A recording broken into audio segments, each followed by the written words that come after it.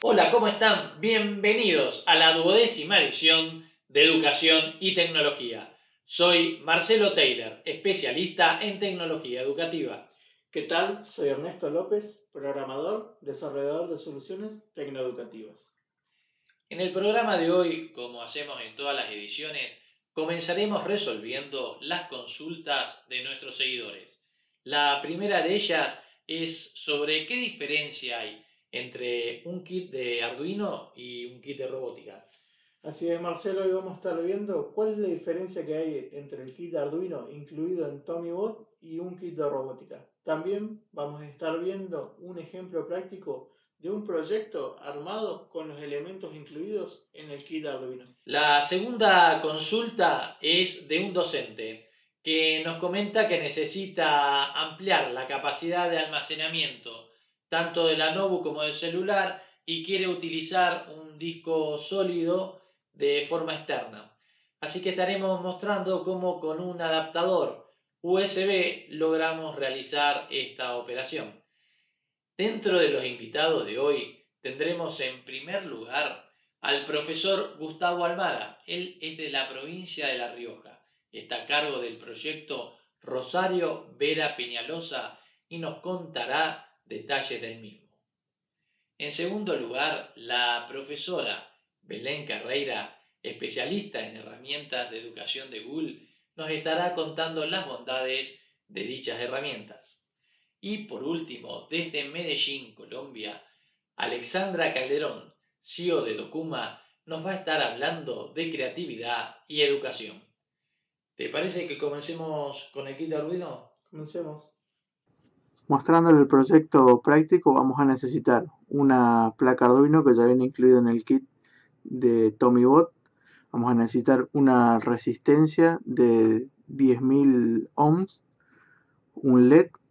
En este caso vamos a necesitar tres cablecitos que nos va a permitir hacer los puentes, un pulsador, si lo pueden ver, y vamos a necesitar cuatro cables extra que vamos a, nos va a permitir conectar la protoboard con el Arduino.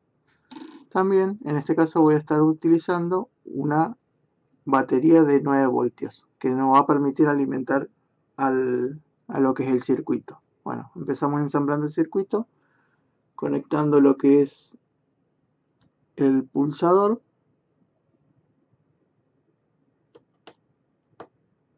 a la protoboard. Una vez que está puesto, conectamos en la parte del pull down la resistencia que lo que nos va a permitir es que no haya interferencias cuando se va realizando las pulsaciones. Ahora lo que tenemos que hacer es ir haciendo los puentes. En este caso yo voy a usar la línea exterior de la protoboard no sé si se puede ver tiene dos líneas acá.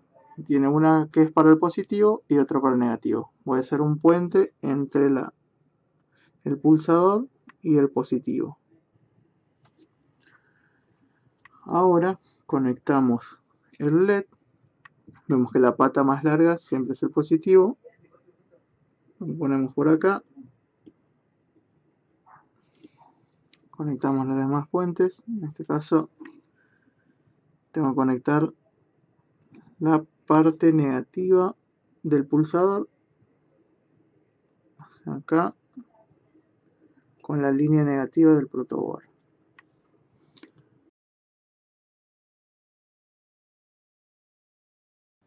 Y por último conecto la parte negativa del protoboard con la parte de tierra del Arduino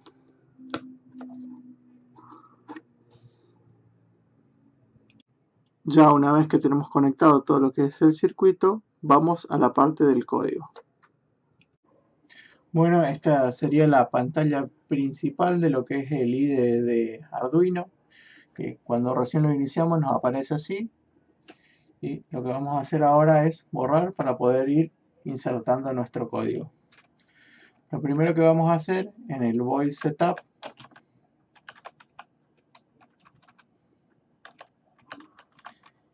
es declarar nuestros pines, que en este caso los que vamos a estar usando son el pin 13, que es el que nos va a estar encendiendo y apagando lo que es el, el LED.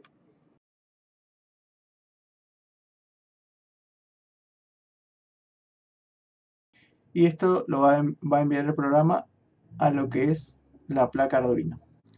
Como pueden ver, una vez que ya tengo cargado el código a lo que es la placa Arduino, simplemente tengo que agarrar la batería de 9 voltios, en este caso, lo conecto al toma del, de la placa Arduino.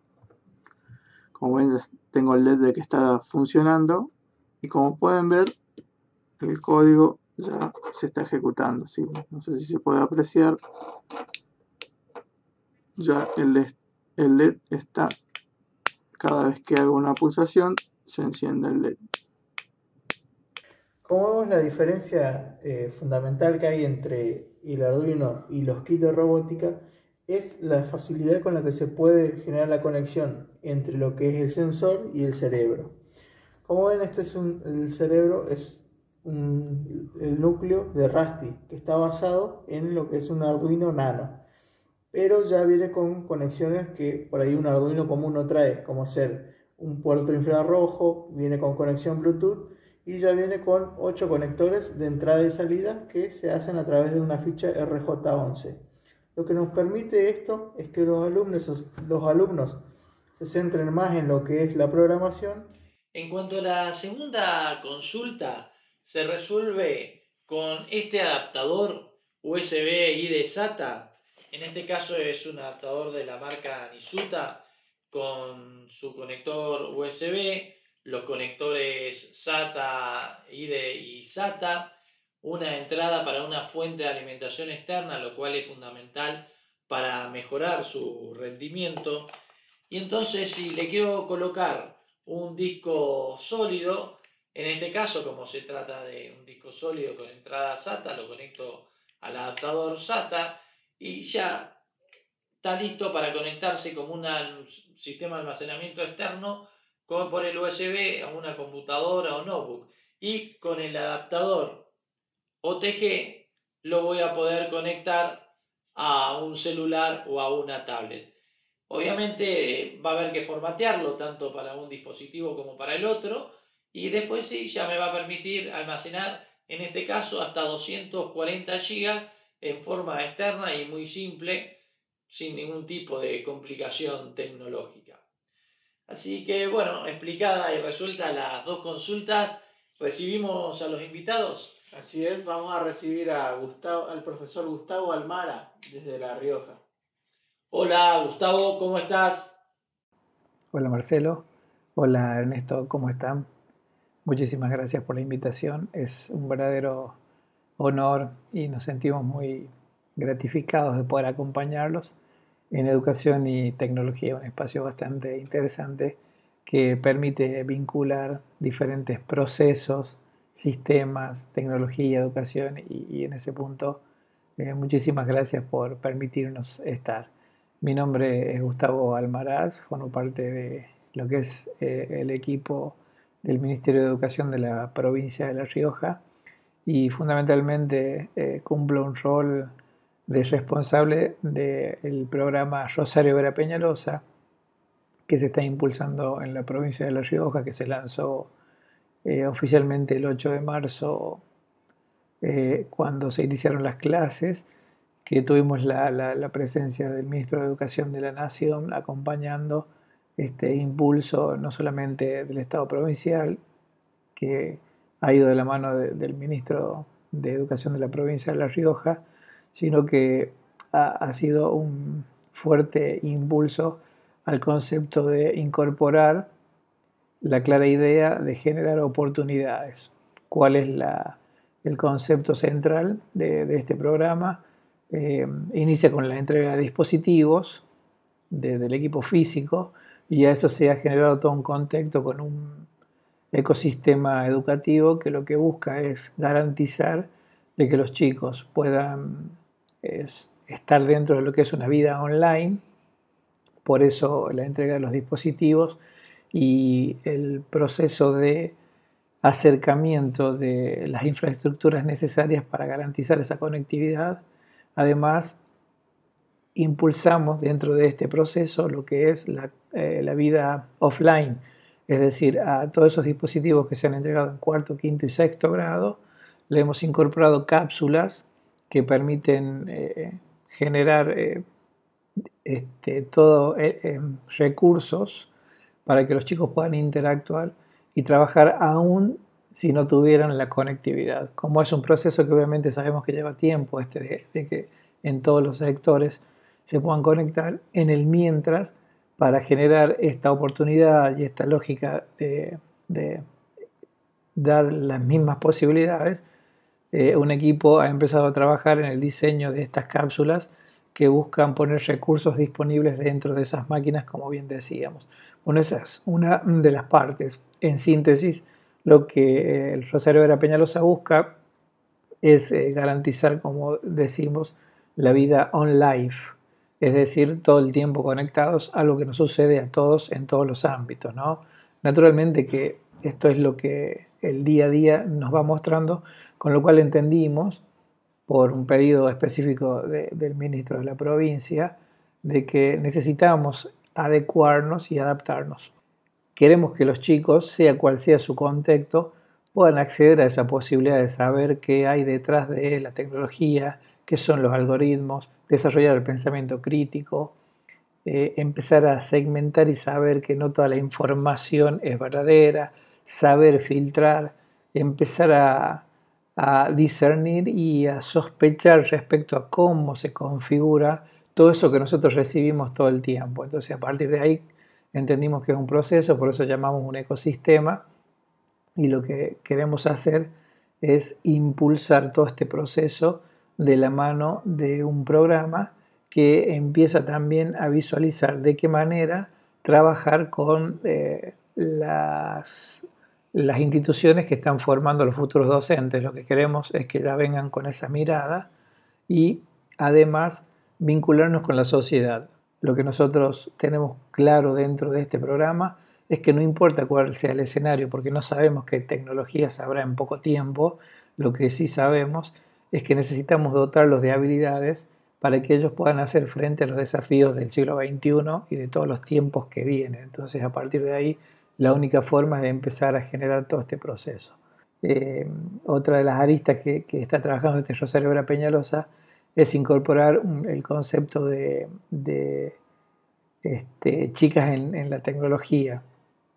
En ese sentido hay muchos impulsos, nos hemos vinculado de, manera excelente con, una organización que está trabajando y que tiene muy claros objetivos, que es la Fundación Género 360, que, nos está acompañando en, en, este desafío de tratar de generar esas posibilidades de forma tal de que cuando eh, nuestras chicas que están en, el nivel primario, que empiezan a transitar el sistema educativo, puedan realmente estar al frente y poner toda la capacidad consabida de, de, nuestras chicas para que encabecen esos proyectos, esos desarrollos en ciencia, en tecnología, que es lo que mucho nos interesa. Eh, claro que todo esto necesita de herramientas y ahí la tecnología es fundamental. Nosotros hemos empezado a, hacer pruebas con el dispositivo, eh, el, el, Tommy, el Tommy Play, por ejemplo, que nos está permitiendo eh, empezar a probar todos estos diseños que han armado de una manera excelente, que tienen que ver con eh, poder trabajar en el mundo offline, es decir, descargar la, tarea y luego hacerla en su casa sin conectividad y en el momento en que aparezca una red para conectarse, la tarea se sube, estamos probando algo de eso, hemos probado con las tabletas Wacom, por ejemplo, para ver qué podemos eh, agregarle al docente y a los alumnos en esa interactividad, sobre todo en este ámbito donde clases eh, eh, online, a la bimodalidad, a una presencialidad acotada, o administrada y en ese sentido obviamente que todo lo que es eh, tecnología sirve e impulsa mucho. Estamos viendo desarrollos de empresas como PlayQ que trabajan con realidad aumentada, eh, hemos estado conectados con la gente de Rasty, bueno, varias empresas, porque eh, todo el tiempo estamos en análisis para ver qué de esas herramientas pueden servir para generar ese despegue y ese impulso. También tenemos muy en claro que es interesante cambiar el impulso de la experiencia rígida por la inexperiencia flexible, que es un poco lo que nosotros queremos que nuestros chicos puedan desarrollar eh, en, todo este proceso educativo. Queda dando vueltas eh, una entrevista que veía el otro día con eh, la gente de Global, la verdad que un ejemplo, y cómo el sistema educativo puede de verdad cambiar vidas y cómo realmente si trabajamos en conjunto eh, pueden haber esas eh, luces por ahí que titilan y que se transforman en, un eje, un norte a seguir por muchos chicos que luego eh, trascienden y seguramente va a haber muchos ejemplos. Hay que seguir, continuar y que todo aquello que, vaya a dar una oportunidad real a nuestros chicos nos sirva de guía y, y nos haga avanzar todo el tiempo de una manera netamente positiva. Así que muchísimas gracias Marcelo Ernesto. Eh, espero en la próxima oportunidad podernos encontrar nuevamente y un verdadero honor realmente estar en su espacio. Un abrazo muy grande. Muy interesante todo lo que comentaba el profesor Gustavo Almara sobre lo que está haciendo la provincia de La Rioja, que tiene muchos proyectos de tecnología y educación. La verdad que muy admirable lo que está haciendo dicha provincia. Eh, vamos a recibir ahora a la profesora especialista en herramientas de Google para Educación, Belén Carreira. Ella nos va a estar presentando las bondades y todo lo que nos ofrece hoy en día Google para facilitar el día a día de los docentes. Hola Belén, ¿cómo estás? Hola a todos, ¿cómo están? Ernesto, Marcelo, muchísimas gracias por esta bienvenida tan cálida a Educación y Tecnología. Eh, como comentaron, mi nombre es Belén Carreira, soy entrenadora certificada de Google y además líder del grupo de educadores Google de Buenos Aires. Em, la premisa está en ver cuáles son las, eh, bondades o los beneficios de la incorporación de los entornos de Google para educación y creo que cuando en una escuela intentamos ver qué nos conviene más a la hora de eh, qué entorno digital eh, utilizar para, nuestras clases y ponemos el foco en Google for Education, em, a mí siempre me gusta rescatar cuatro, valores fundamentales, las cuatro cosas que a mí como profesora me, más me representan y, más me preocupan a la hora de elegir mis, mis herramientas digitales para trabajar.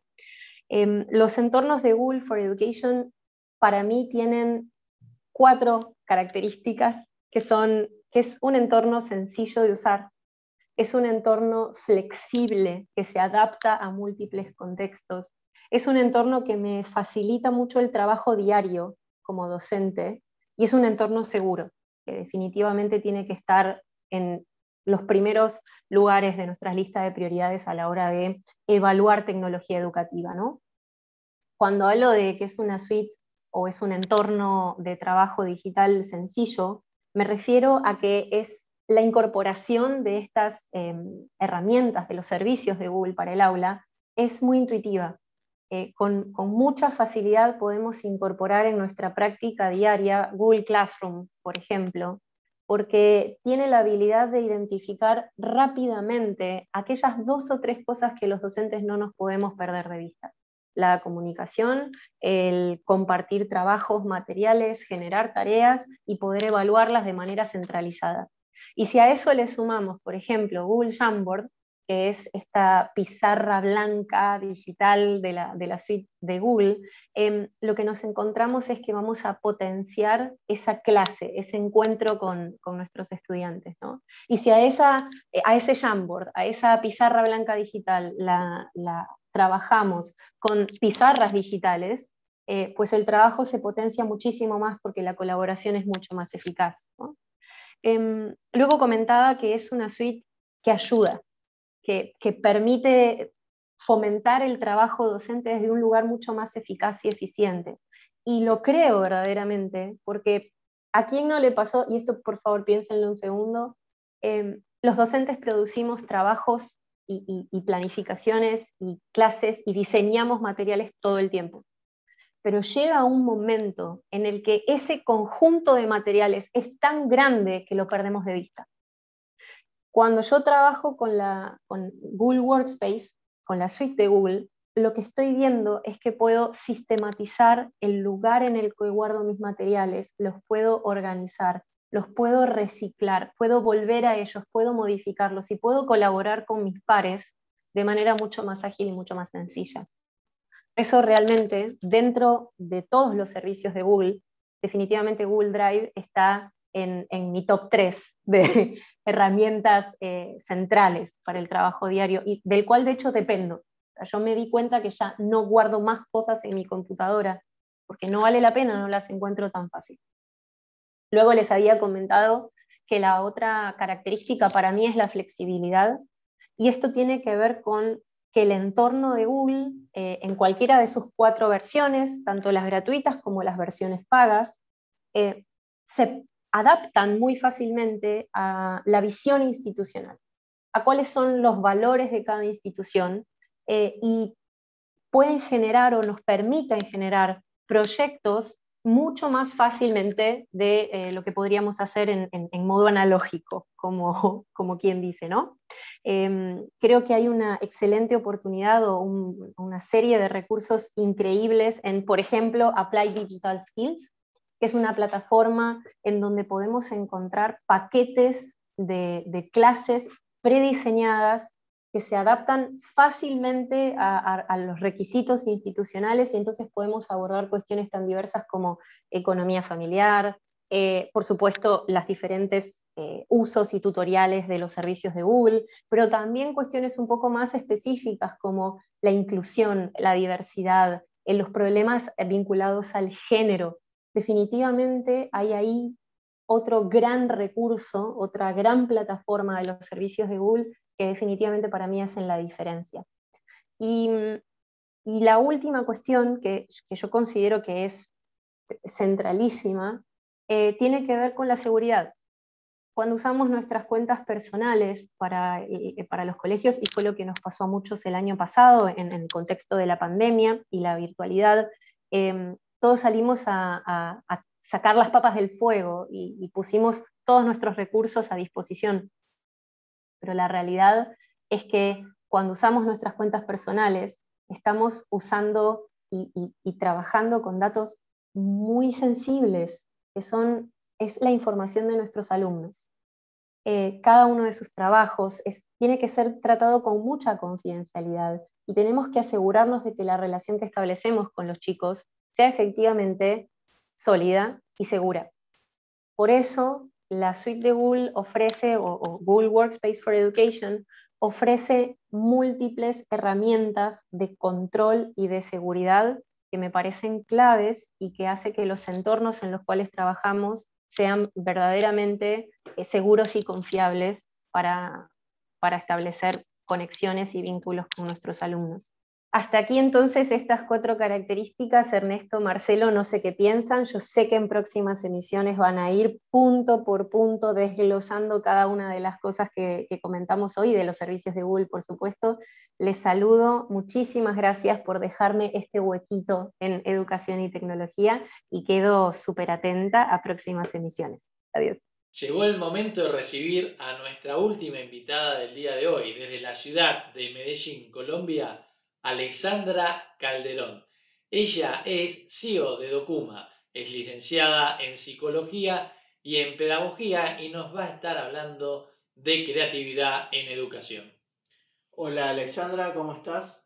Hola, muy buenas tardes, ¿cómo están? Un gusto saludarlos y saludarlas. Muchísimas gracias a Marcelo y a Ernesto que me dan la bienvenida y nos han invitado a este gran programa de innovación educativa aquí en Argentina. Nosotros somos Documa, somos una organización que trabaja en pro de la innovación educativa en Latinoamérica. Tenemos la red más grande de maestros eh, innovadores en Latinoamérica y es un gusto para nosotros estar aquí. Mi nombre es Alexandra Calderón, como me presentaron. eh, soy la directora de esta organización y nosotros tenemos como misión promover la innovación educativa. ¿Y eso cómo lo hacemos? A través de dos grandes líneas. Una que está relacionada con la formación en capacidades de innovación educativa en docentes, directivos y líderes educativos. Y tenemos un gran congreso que aglomera todos los Em, organizaciones que están trabajando en innovación educativa. Y también generamos proyectos, LMS y, y, herramientas a la medida para organizaciones y, estamos en pro de desarrollar temas de STEAM en Latinoamérica, todo muy enfocado hacia la ciencia y género eh, en estos proyectos. Hoy les quiero hablar de algo fundamental que son los procesos de innovación, ¿cierto? Cuando hablamos de innovación, desde Documa siempre decimos que lo más importante en la innovación es hablar también de creatividad. Pero, ¿por qué? Porque sin emoción no hay innovación. Y la capacidad de la creatividad es esa posibilidad que tenemos de generar solución a los proyectos, a los, a los problemas que se nos presentan.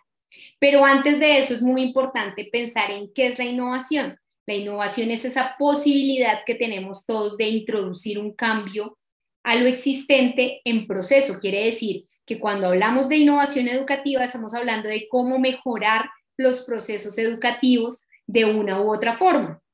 ¿Cómo podemos hacer eso? Podemos generar procesos de transformación a partir del uso de nuevas tecnologías, ¿cierto? Pero también es fundamental generar procesos de innovación desde la misma transformación institucional, desde la gestión educativa, profunda desde los cambios curriculares, porque si no, se nos queda sin estructura. Y por otro lado, también podemos generar este cambio a través de las pedagogías alternativas, que son aquellos modelos educativos que nos posibilitan pensarnos la escuela de otras formas y que con todo lo que estamos viviendo cada vez cobran más sentido.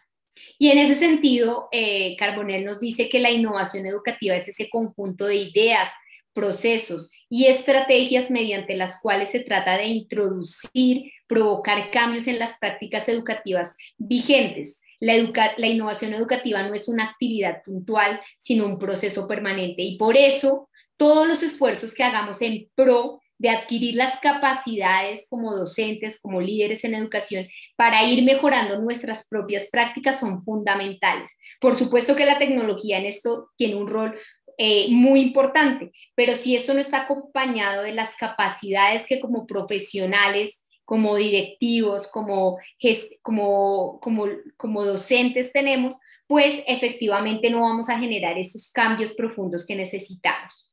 Y en ese sentido, por eso esta innovación educativa se hace desde diferentes ámbitos se, hace, se puede hacer desde un cambio para mejorar nuestra institución educativa, para mejorar nuestras prácticas, porque estamos haciendo las cosas bien, pero hemos detectado ciertas problemáticas, ciertas inequidades, ciertos em, temas relacionados con la calidad educativa que queremos mejorar. Pero también lo podemos hacer porque necesitamos solucionar problemas específicos. Si yo tengo un problema en mi institución relacionado con el bullying, eh, yo tengo que crear un proceso de innovación para mejorar específicamente esa problemática. Y otro énfasis de la innovación está relacionado con el crecimiento, ¿sí? Es decir, si yo ya tengo una institución educativa exitosa y nos está yendo muy bien o un proyecto educativo muy interesante y yo quiero llevarlo a otras instituciones o quiero que mi proyecto de aula se escale en toda la institución, debo generar un proceso de innovación educativa que me posibilite generar esa transformación profunda. Y en ese sentido, es, es muy importante y les quiero dejar estos tips porque para generar unos procesos de innovación institucional tenemos unas claves. Primero, nuestro equipo de trabajo debe tener liderazgo y compromiso. Yo no puedo generar un cambio, una transformación si dentro de, dentro de mi institución no estamos comprometidos a profundidad. Segundo, debo generar un plan de innovación. Por eso muchas veces tenemos iniciativas interesantes para generar cambios, pero no pasa nada. ¿Por qué? Porque no hemos planificado. Tercero, debemos generar cambios de la metodología. Por eso la formación es fundamental para que exista un proyecto y un proceso de innovación educativa. ¿Por qué? Porque necesito cambiar la metodología de trabajo que, tengo. Eh, cuarto, debo generar aulas cooperativas. Quinto, debo pensar cómo pueden actuar los tiempos y los espacios de forma diferente. Esto nos daría para toda una charla eh, y espero que pronto nos veamos para hacerla, pero efectivamente la escuela necesita un cambio respecto a los espacios y tiempos de las escuelas. Eh, el siguiente ítem está relacionado con la tecnología como vía de integración. Y sabemos que la tecnología nos posibilita mejorar procesos y por eso es tan fundamental. La evaluación formativa. Fijémonos que esto tiene que ver con un cambio del paradigma. La colaboración como eje transversal y el rol de los educadores debe cambiar. Desde Documa siempre promovemos que el rol del educador es ser líder, es ser aquel que puede promover esos cambios y además está comprometido con esa acción. en siguiente instancia, debemos tener una apertura al, al entorno y debemos generar un encuadre curricular con un marco innovador. Si nuestro currículo no está articulado a unas prácticas profundas de innovación educativa, no hemos hecho nada. Y, por supuesto, para arrancar, para arrancar con ese proceso de innovación, debemos preguntarnos qué es lo que necesitamos transformar, qué es eso que pasa en nuestra institución que está haciendo que nuestra calidad educativa no avance como quisiéramos. Segundo, debemos tener inconformidad, ¿no? Yo no puedo cambiar algo si estoy muy cómodo con algo, debo sentir esa necesidad de generar un cambio. Tercero, debo generar procesos de, de, imaginar lo que espero para mi institución educativa y por eso es muy importante los procesos de formación colaborativo con la comunidad, cómo nos estamos proyectando e imaginando. Cuarto, colaboración, y eso es fundamental para cualquier proceso de innovación educativa. Y quinto, detectar cuáles son esos problemas que quiero resolver. Por el día de hoy, solo los quiero dejar con esos pequeños tips. Por supuesto que este tema de la innovación educativa es fundamental y por supuesto que debemos hacernos preguntas profundas. Si yo quiero generar procesos de innovación educativa, debo pensar cuáles son esas problemáticas que quiero mejorar y en pos de eso generar un plan institucional de innovación educativa. Así que muchísimas gracias por el espacio, Marcelo, Ernesto, ha sido un gusto estar el día de hoy con ustedes y espero verlos pronto. Súper bienvenidos a las redes sociales de Documa, Documa con K, punto tech, como techo, pero si no, y en Facebook, en Instagram y bienvenidos a todas las formaciones que hacemos en Latinoamérica.